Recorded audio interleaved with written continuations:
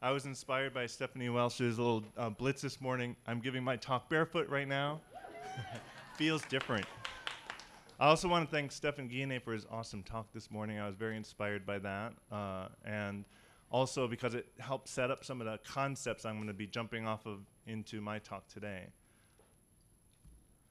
The outline of my talk how does eating refined foods cause cognitive impairments and mood disorders? Why do we eat refined foods? And finally, I'm going to finish with how can we banish refined foods from our diet? Very important. I'm going to jump off with work from my own lab I've been doing over the past few years with in rats. And rats uh, are actually a pretty good animal model to use to study the relationship between diet and cognition and other health aspects because their neurophysiology and digestive physiology is quite similar to that of humans and many other mammals, uh, especially generalist omnivores like humans. Uh, and so, what we can learn about rats often translates very nicely to what we understand about humans and can corroborate with human research. So, I'm going to um, begin by talking about the rat studies that involve looking at the effects of giving rats either a standard um, controlled diet that's derived mostly from whole food type ingredients uh, sources to, to create these little rat pellets uh, and compare rats that consume that to rats that are going to consume a refined diet that is made of highly purified and refined ingredients. I list some of the major components of each of the two diets here. If you wanted to get more information on these two diets, just send me an email. I could always send you the, the, the PDFs that have all the details from the manufacturers. And th- both of these diets are generally um, low in carbs, high, low in fats, I should say, I'm sorry, and high in carbs. They differ a little bit on protein, but they were selected to be roughly comparable on macronutrient ratios. They're not exactly comparable, but they're roughly comparable. Now, what happens first when these uh, rats, two groups of rats, are placed on these diets?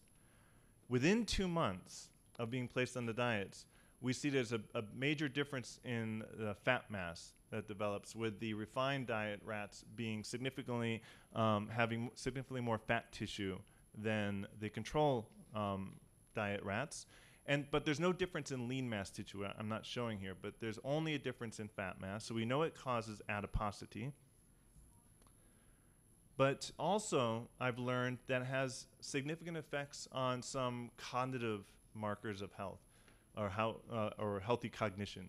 So here I'm showing you um, a picture of a rat in one of my chambers. It's a st- uh, standard Skinner box. It has a lever, there's a light, there's a food receptacle, but we're not using the light in this study. All the rat has to do in this study is press the lever to get food, um, little food uh, reinforcers. And what we use is a schedule of reinforcement where they have to make more and more lever presses for each next reinforcer. So at first they only have to press the lever five times to get a pellet. Then they have to press 10 times to get the next one. And then they have to press an additional 15 times for the next and so on. So it progressively increases, more and more effort for each subsequent reward. And what you see is this is a very sensitive assay for measuring motivation. It's used a lot in rat research and like in pharmacology work to measure pharmacological effects on motivation. Well, here we're looking at dietary effects on motivation. And what we see, we measure by the end of the session how many rewards have they received, and that reflects how much work they put into getting those rewards. And the refined rats that have become uh, obese on this uh, diet have um, earned far fewer, significantly fewer reinforcers. So they have a impaired motivation compared to rats that are eating a normal control, healthy control diet.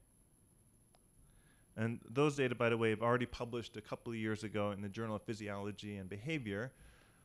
Um, a newer study that I've done since then is now looking at other aspects of cognition, specifically attention and behavioral control. And so we developed in our lab a two choice vigilance task. Basically, it's a task where the rat sits in a chamber, and now there are two levers, one on either side of the food cup. And there are two lights, one above each lever, and the food cup's in the center. And what we do is the, the levers are not normally in the box, they're normally retracted.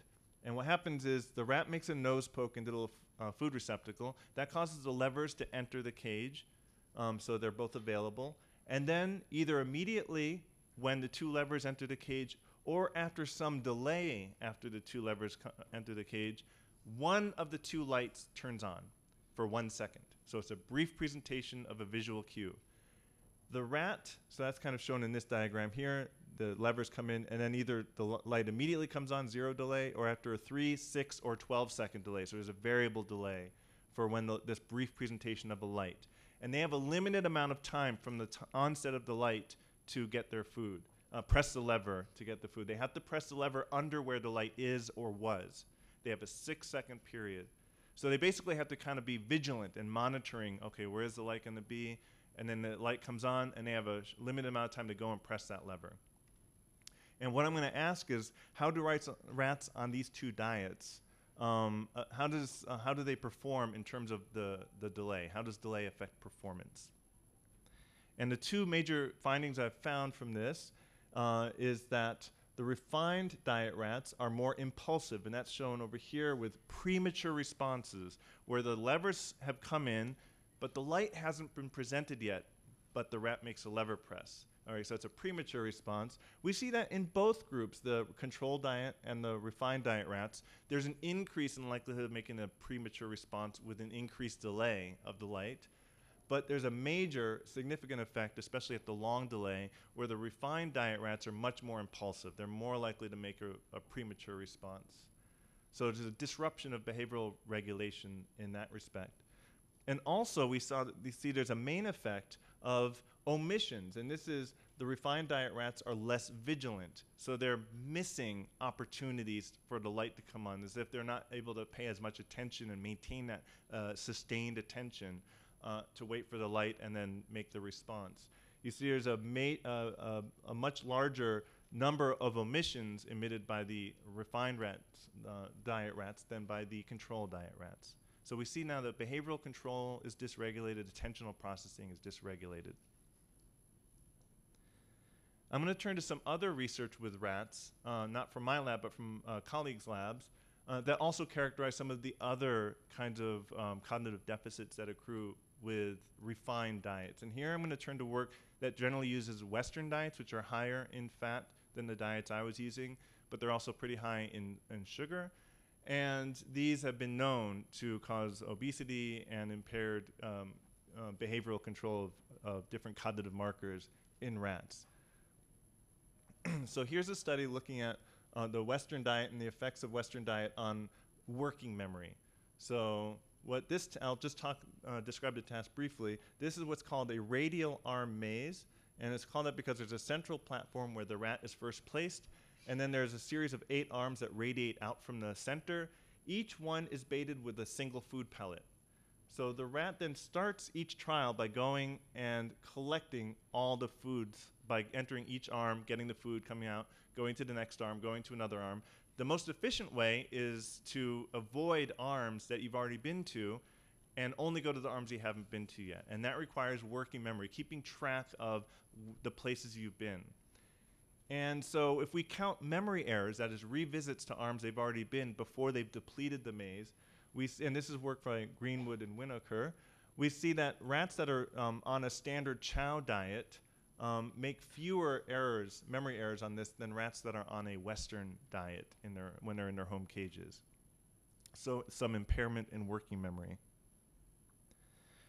Another aspect of memory that's impaired, other people, Kanoski and his group have shown, uh, involves a more like a reference type memory. Um, and specifically, there's a, a, kind of memory that um, a lot of our memories uh, require the hippocampus, abbreviated HP here, but require this memory structure in our brains called the hippocampus. Um, and that's one of the structures that decays, dec- can decline with age and is related with, uh, um, with, um, with Alzheimer's and dementia. And so we see that rats on a Western diet versus on a chow diet, if they're given a learning task where they're learning something that does not require, that we know doesn't require the hippocampus, they learn at an equal rate. The Western uh, diet rats learn at an equal rate as rats on a chow diet. But when you look at a hippocampal dependent type task, I won't go into the details here, just we know that it's a type of task that requires an intact hippocampus to perform well. We see that rats on a Western diet perform much more poorly than rats on the control diet. Even though there's a main effect, it's a, a more difficult task than the non-hippocampal um, task. Another thing that these researchers did was look at a marker of blood-brain barrier integrity. And those are the data reported over here. And what they saw is that if you look at the hippocampus, and there's a, the blood vessels that kind of are close to the blood-brain barrier where the hippocampus is located, compared to other cortical structures like the prefrontal cortex in the frontal part of the brain and striatum, which is a little bit lower down in humans, um, that the hippocampus in particular shows a much greater increase in this marker of blood-brain um, barrier uh, permeability.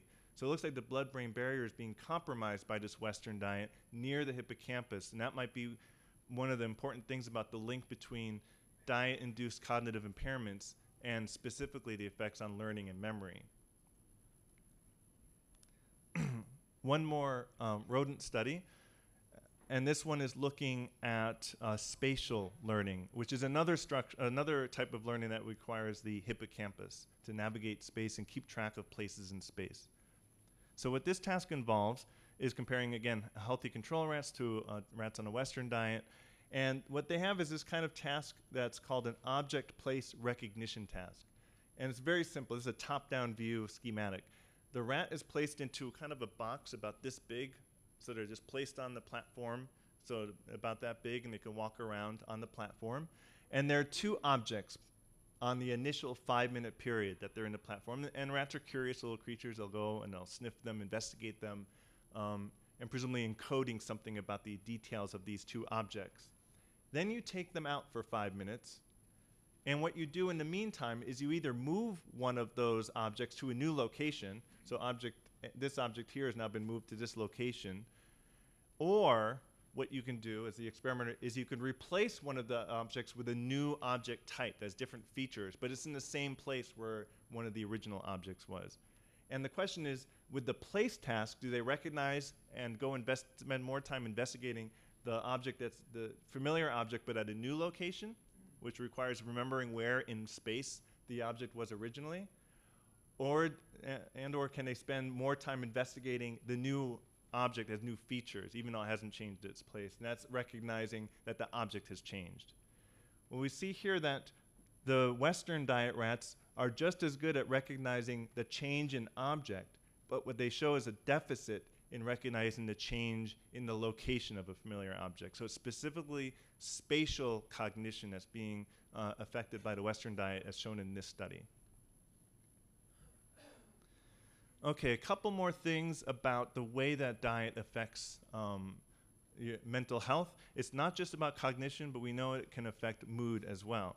So, refined ingredients such as sugar and seed oils increase systemic inflammation by stimulating cytokine production. Chronically elevated inflammatory signaling can dysregulate neurotransmitter and neuromodulator uh, metabolism, such as the dopamine, glutamate, and serotonin are three well known neurotransmitters and neuromodulators that are affected by diet um, and, a, and play a role in, um, in inflammatory processes. Inflammation mediated depression, okay, so depre- uh, uh, inflammation in the nervous system that causes a depression resembles sickness behavior. So when you get a cold, when you, especially when you get something like a flu, you, you just want to hide under your covers and not talk to people and kind of it's a conservation withdrawal kind of state. That's a typical sickness behavior. Diet-induced obesity or, or inflammatory process-mediated uh, depression um, is really resembles sickness behavior and it doesn't resemble the kind of depression that's clinically diagnosed based on like anhedonia. Okay, so they're actually clinically very different types of presentations. Also, refined foods are related to anxiety. There are several micronutrient deficiencies that are associated with anxiety and depression, including um, minerals like zinc, magnesium, lithium, and chromium. Refined foods are often deficient in such micronutrients. Uh, and also, it's been shown, a study uh, by these people here, that consuming nutrient dense foods is associated with positive affect, that is, positive mood, happiness, things like that. So, given that we see these strong links, and some of them causal, between diet and cognition and, and mood, then why do we continue as a population? Why do we continue to consume um, refined foods as such a major part of our, di- our diet? And here's where I think a lot of understanding of psychology and psychological processes, how they're affected by diet, um, are responsible for this. I'm going to go through these eight uh, in successive slides. So, one I want to start with is the concept of supernormal stimuli. This is starting to gain attention uh, in the research community. And it's been known for a long time since Niko Tinbergen and other uh, seminal uh, ethologists that, um, that when you study animals in the natural uh, environment, you see lots of interesting things when you start looking at what are the cues that they respond to to try and regulate their natural behavior, like parental care and so here's, uh, according to ethologists, an artificial stimulus, so one that the, the experimenter can create and then give to the subject out in the wild, um, an artificial stimulus that elicits a greater response than a normal stimulus, uh, they called that a super normal stimulus. So here's an example an oyster catcher mother. Here's her regular egg sitting over here. Here's an artificially um, lar- enlarged egg um, that's larger, maybe more speckled than her own egg and she'll prefer to go and tend this artificial stimulus. It's super normal. It drives, it, attracts her more than the natural egg. Here's another famous one that Tinbergen uh, had uh, experimented on in the wild with the uh, herring gull. Herring gull chicks peck at the beak on the mother. There's a little red spot at the tip, and that causes the mother to regurgitate the fish that she recently caught, and then the chick feeds by eating that. I know, we've all been there, right? All of us, uh, the mommies in the crowd, raise your hand if you've kind of mas- pre-masticated some of your food for your infant. Yeah, yeah, yeah. It, it's a yeah. It's a cult. All humans do this in other cultures too, actually. so just don't think about your own experiences as a baby. Um, so what Tinbergen did was created these artificial stimuli, then especially this one here, this long red rod with this high contrast white bands, and noted that the chick would prefer to peck at that rather than at a natural, more naturalistic stimulus. So this idea of a supernormal stimulus um, has been around in ethology since the 1930s or 40s at least. But I think it really explains something about the kinds of hyper palatable foods that have been created by the industrial food industry uh, to elicit um, a greater amount of, um, of consumption, so overconsumption, compared to a regular uh, whole foods.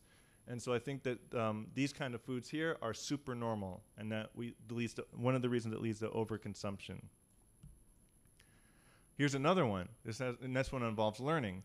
So Pavlovian flavor calorie associations have been studied quite a bit in rats and in humans, and we know now that a lot of our uh, preferences, food preferences, develop by learning. We, especially with omnivores, we eat different things, little amounts, and rats do this too, and things that don't make you sick, and things that are followed by um, a reduction in hunger because they have calories entering the system, are things that we associate now those flavors with something good. So we're learning to associate those flavors with calories. And so this is the normal um, kinds of foods, you know, whole foods of different types that we would learn flavor calorie associations with. But when you have refined foods, they're calorically dense, and you think of the calories, that's the unconditioned stimulus in like a Pavlovian sense. That's what's driving the learning process. The bigger and more stronger the unconditioned stimulus, the stronger will be the associative learning process. And so these calorie dense foods is basically like a much bigger US so it's causing much more rapid and stronger learning of flavor calorie associations. And as a, re- result, we enjoy those flavors and develop cravings for them much more than we would in a normal range of whole foods. Habit learning. Here's another thing that's affected by diet. As we learn a skill or a procedure, we tend uh, we turn that behavior into a habit.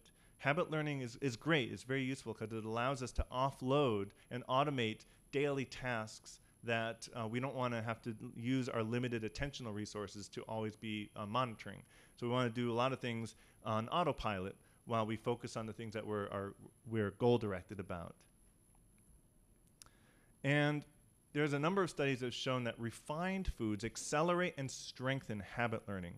Rats that consume hyperpalatable food in binges, in particular, show faster habit learning than rats eating a control diet. There are more neurons in the brain regions, um, and this is a human study. There are more uh, neurons in the brain regions that code for value and saliency of food, and this is in an area called the basal ganglia that's involved in habit learning and control of action. Um, and so there are more neurons in that region for uh, in obese than in lean people. So obese people have had a shift in the amount of brain tissue and process neural processing dedicated to um, the value coding for value and saliency of food cues. Well, another study: obese women acquire habits more quickly than lean women in a in a uh, laboratory task setting. Uh, another study yet. Um, men with high BMI are associated with stronger habit learning with respect to motivational value of food. So I'm just finding some things in the literature, and there's more in the literature uh, just like these uh, studies. So the idea from these studies and others is that acceleration in habit learning can interfere with breaking bad habits. You can be stuck in a rut maybe because your habit system is is overloaded, is is is hard to disengage. Um, and then things like mindless eating and susceptibility to food cues can result. Here's another one that's um, from psychology delay discounting. The idea here is that we are able to forego immediate rewards if we value a future outcome um, even more. Uh, so we might avoid the piece of cake now uh, that's presented to us. Uh, no, because I'm trying to you know maintain lean figure, or I don't want to have to run to the toilet or get gut dysbiosis, which I know I'll get if I eat this now. So you're putting off some, you're valuing something in the future more than the immediate reward. Um, but we do discount rewards that are too far in the future or when the immediate reward is too enticing. And so here's an actual uh, study that came out a few years ago uh, looking at delayed discounting functions for both monetary rewards and food rewards uh, in normal weight individuals and obese individuals. And what this is showing is a subjective value of a particular reward, like a monetary item or food item, as a function of the number of months in the future that they're expected to get it. So, how much would you value $10 right now? How much does it mean to you uh, a month from now? Or, um, you know, that, that's the kind of nature of the, the questions that are asked. And you see, of course, for both kinds of subjects, for everybody, the further in the, in the future some object item of reward is, the more you discount its value. Its subjective value de- decreases. Um, but that that uh, discounting function is much steeper for obese people than for lean people. So we know that whatever is contributing to obesity is also affecting uh, their ability to value, the sub- uh, apply a subjective value to something in the future, a goal in the future. So this can further dysregulate uh, behavioral control and planning, long range, long-term planning. Uh, another one, learned helplessness, and this is from the work of Martin Seligman and his colleagues. Uh, and what this is is uh, a task where uh, an animal, such early work was with dogs, they're placed in what's called a shuttle box. They can jump back and forth over this partition to be in one side or the other. And periodically they get a cue, the speakers turn on, that tell them that the side they happen to be on is about to get a shock about to be electrified, that grid. So if they learned that, they could jump over to the other side and avoid getting the shock. Then they have a few minutes of safety, and then the, the auditory cue comes on again. They have maybe 10 seconds to jump back to avoid the shock. If they don't jump back in time, they get the mild electric shock. No, no dogs were harmed, they're just annoyed in this study. They use low levels of shock, but enough that it makes them want to jump.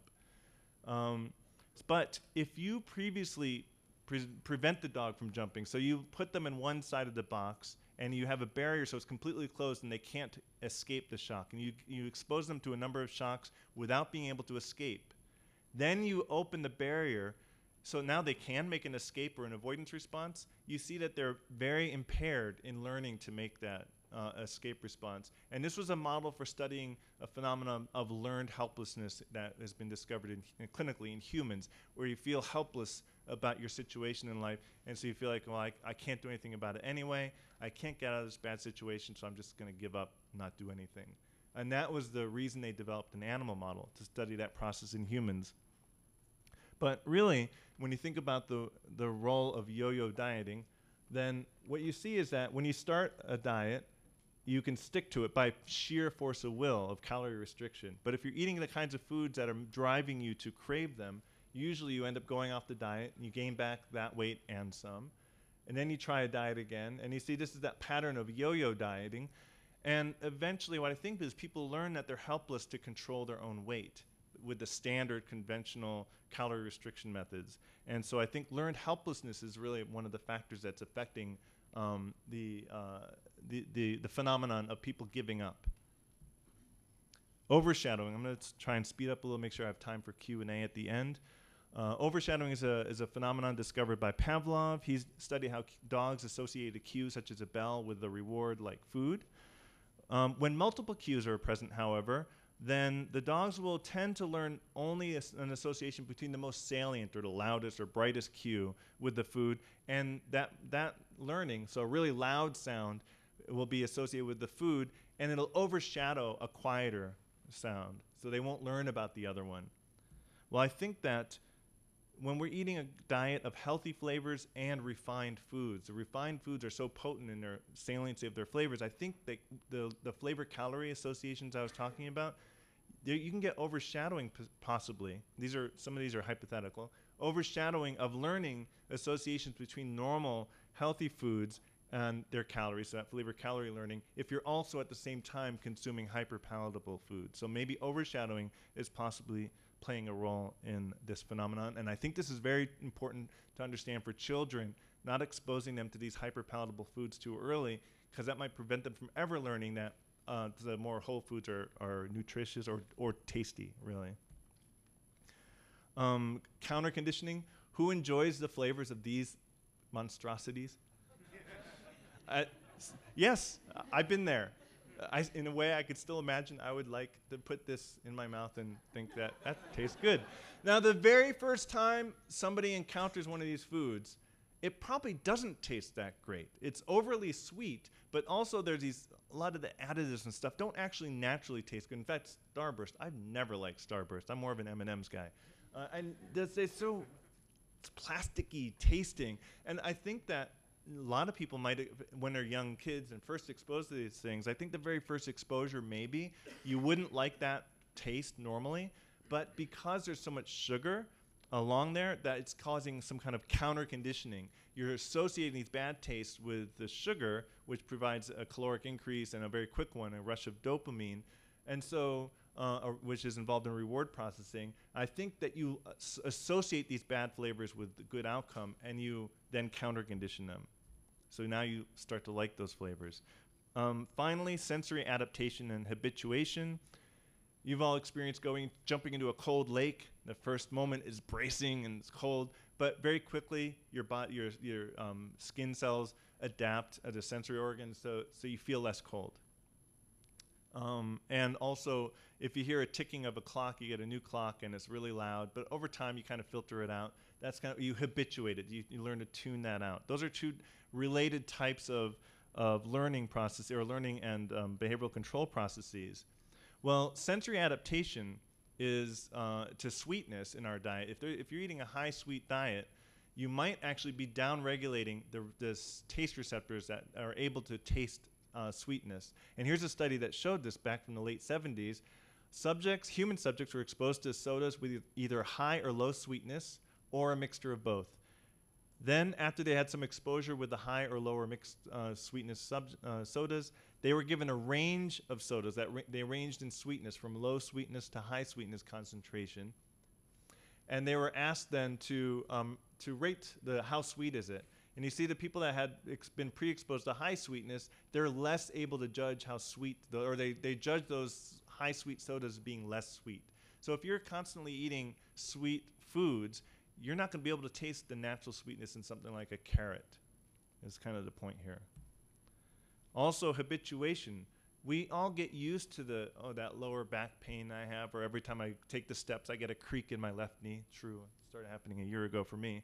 You know, and we habituate to these things, and we kind of have to tune them out in order to kind of get by in life. I think we forget sometimes because we're habituating to these the feelings of unwellness to what it felt like to thrive. Okay, I know I, I kind of getting close to my Q&A time, but I want to quickly go over the message of hope. Despite these problems, we, there's a lot of hope that we have. Um, so now I'm just starting the Q&A period. I'm going to try and stick to five minutes. Pavlov showed that dogs um, that salivate when the bell predicts food, but he also showed that if you then present the bell by itself a number of times, that they stop salivating. That is, you can extinguish the salivation response. So I know I've extinguished quite a bit of the sounds of a rustling sound of a, opening a bag of chips or the seeing these um, um, cues or smelling cues that had previously I had associated with good things. Uh, because I've abstained from them for a long time and seen the cues without actually imbibing, I've extinguished some of those associations. So that's one of the hopes that you can actually take back into your hands. My uh, late friend and, and collaborator Seth Roberts had done some really groundbreaking work applying Pavlovian conditioning principles. Uh, I won't go into the details of the theory, it's based on Pavlovian conditioning principles and uh, to be able to break your body fat set point. So if you think of body fat as uh, or adiposity as something that your body is regulating as a, um, a, homeostatic system, then if you want to lower your body, set body fat set point, then you, that will reduce hunger and you will then lose weight naturally from that. And he's got lots of data from subjects uh, that pr- have participated online with doing this. For example, consuming some extra light olive oil, or I've tried it with refined um, coconut oil, which is very low in flavor, is like giving yourself an unconditioned stimulus without a, a CS. And what that does is that also, like extinction, that could break the CS US association, these kind of Pavlovian associations, and it seems to be a very effective method of reducing hunger. Reward devaluation. This is one I've put in practice myself, and it really works. A rat learns to press a lever for a sugar pellet. If the sugar pellet is then, if they then eat the sugar pellet and get an upset stomach, they will no longer want to eat the sugar pellet. This is called a conditioned taste aversion. Um, this is one way of devaluing the original value of a food. And I've done it not through inducing stomach upset, but mentally thinking, oh, this is not good. This is really bad for me, and I'm going to make myself sick. And I've kind of be able to mentally create my own devaluation of hyperpalatable foods, refined foods. And related to that, very closely related to that, is this idea of equivalence class formation. When we look at the world, we don't just see a bunch of random objects. We kind of classify things. There are chairs, there are people, there are lights, and, and we kind of group things into categories or classes of objects. Well, we're typically, the typical person will think of these kind of refined foods as in the class of uh, maybe not necessarily healthy, but definitely edible things. Well, I switched and I said, nope, that's the wrong class. That's the class that this belongs to. Inedible, inedible, in sorry, inedible and toxic ingredients. So now, when I go to a coffee shop, I realize I'm just there for coffee. You know, don't look at all this crap in there because it's just refined foods. You go there, you look at the board, you you know which kind of coffee you want. Get your coffee. Um, remember that coffee shops sell coffee. That's all you should be getting there. You can also cultivate no eating habits um, by consistently training yourself to avoid, um, you know, when you see something, say, I'm just not going to do it today. And then the next day, say, oh, all right, I'm, I'm just going to avoid taking it for another day. And it's kind of the way it works with alcoholics too. You just day by day, you train in a habit of saying no to something that you previously really wanted and choose something else instead. You can eventually establish a habit that will replace your old ones. So it takes this does take more work, but it has a long-term payoff of being sustainable. I'm not going to go through all of these. These uh, will be online anyway. So, but I want to point you to the work that Brian Wansink uh, at Cornell University and other people have been doing, showing that how we can take control over our eating, uh, mindful eating practices. I'm not going to go through all of these. Social support is very important. You're not alone. Surround yourself with people that support the kind of choices you're making. Seek out a community. I know one in particular that's really good. um, and that help support your goals. And the final thing, it, wait, one more slide after this. The final thing is to redefine yourself. And this is what I've done. If you don't like how you are, change who you are. You are not that chubby boy, fat girl, poster child for junk food, or perpetually fatigued professor suffering IBS. Uh, I won't go beyond that because I don't want TMI. Um, transform yourself. Say, I'm not that person anymore. I am now this other person. don't be a slave to the old you, but be a vibrant, healthy person, not controlled by the food. Um, so become the one at the party that never touches the cookies or never drinks the soda, and, and define yourself in that, and, and fall in love with that. Just to bring it all the way back to the rat research I've done, even in my rat research, I found that if we get the rats, well, we force them, they don't choose this, to after they've been on a refined diet for like nine months, we now put them only on the control diet for five weeks. Okay, so that's all they have access to now is now they, they were obese on the refined food, now they're eating the control diet. Then we test them on that motivation task, right? Progressively increasing the amount of work to get each reinforcer here. And we see that they recover their motivation.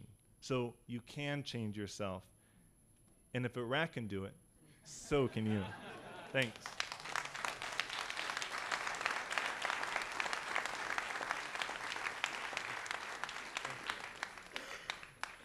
Oh my gosh, that was the best take home ever. um, so again, we have uh, maybe time for two questions. I'm going to uh, exert my chair's privilege again. So um, one of the things that um, you know, bloggers, right? Our our job here is to help motivate people to actually dedicate an amount of time to you know Rob's whole thing of try it for 30 days, right? See how you look, feel, and perform.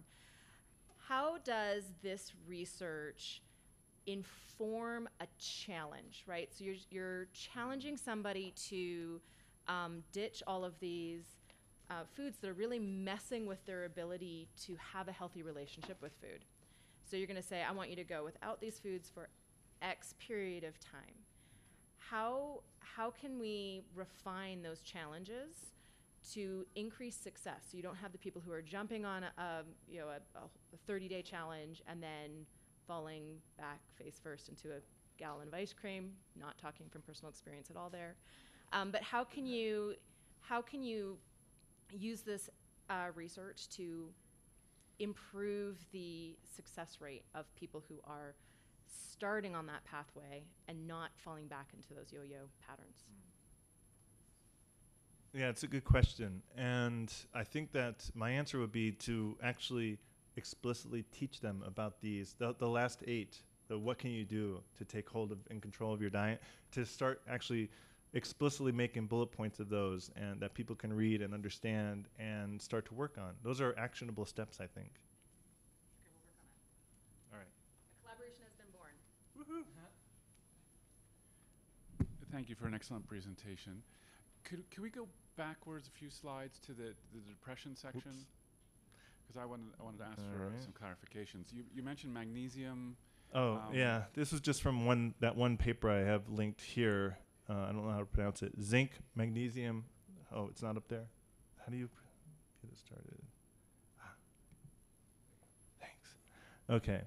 Zinc. In that study, they talked about how zinc, magnesium, lithium, and chromium are trace minerals that are deficient uh, in in people who have anxiety, diagnosed with anxiety and depression disorders. And are they suggesting supplementing lithium? Because I'm not really at Gosh, all familiar with that. I don't remember the exact details. I think they were just saying that there, there's a relationship there. I don't remember if they were then advocating supplementation of that those in particular.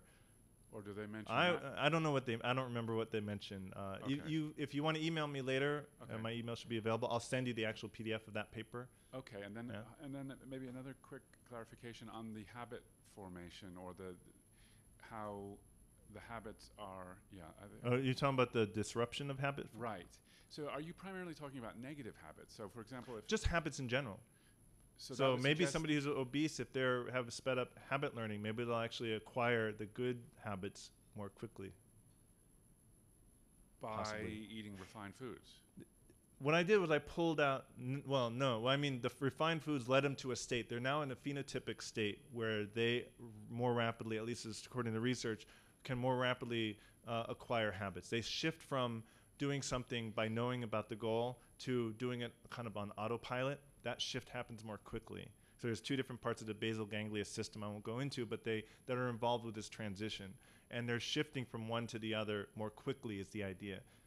That's that's what I'm saying. Okay. So as far as acquiring new healthy habits, what does that suggest in terms of diet? Good. Qu- uh, well, there's hypotheses one could test that. Could they then, if they then gave up those foods, that was the habit they were trying to train in. Would they be at an advantage compared to somebody who eats junk food but wasn't obese and didn't show an impaired habit learning? That would they have an advantage in actually acquiring a quicker habit to to reject junk foods? Okay, thank you. Good question.